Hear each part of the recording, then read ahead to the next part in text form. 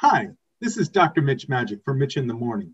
As many of you know, we are sponsored by the Hokey Pocus Children's Foundation, whose mission is to bring joy and happiness to children with injuries or disabilities or diseases who may have lost some of the cheerfulness, the magic in their lives due to their pain and suffering.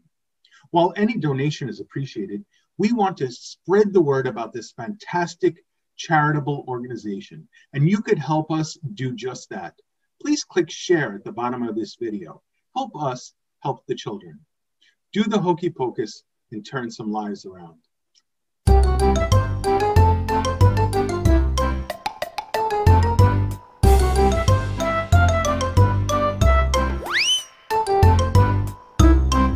Good morning, everyone. Mitch in the morning with magic to brighten your day. I have a really amazing trick today, and to make Floyd happy, today is not a card trick, Floyd. So anyway, let me tilt the camera down so you can see what I'm about to do. Today's trick uses a tin cup and some coins. Actually, I have four half dollars. These are American half dollars. One, two, three, four. All right, so what I'm going to do is I'm going to stack up the half dollars just like that. I'm going to take the cup, put it on top of the half dollars just like that. That's all there is to it. All I have to do is wiggle the cup around a little bit just like that and snap my fingers and one of the coins disappears. I'm going to do it again. So I have one, two, three coins just like that. The, half, the cup, I put the cup on top of the half dollars just like that, nothing in my hands.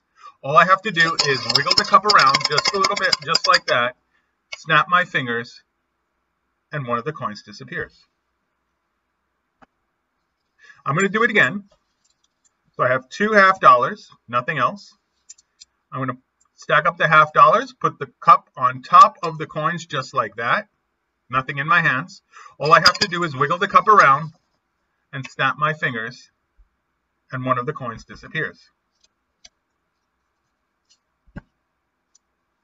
That leaves us one coin and the cup. So all I have to do is wiggle it around.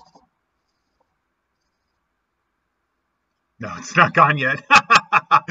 all right. So really, it's it's not that hard. All I have to do is take the cup and the coin. I have to put the uh, the coin the cup on the coin like we did before. That's all there is to it. And I just got to wiggle it around. And it disappears. Oh, um, where, where did I do wrong? Put the cup on top of the coin, just like that. I wiggle it around. Oh, I forgot to snap my fingers. Yeah, yeah. If I snap my fingers, that makes the difference, and the coin disappears.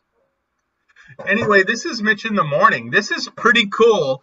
Uh, you know, the cup and the coin, and and uh, it, it I know Floyd got sick of the card trick, so I, I wanted to show something different. Um, I will tell you though that I did cheat a little bit. I did cheat a little bit when I did this the, the trick with the cup and the coin. You can't see it. You really can't see it. But inside of this cup is a is a secret little helper.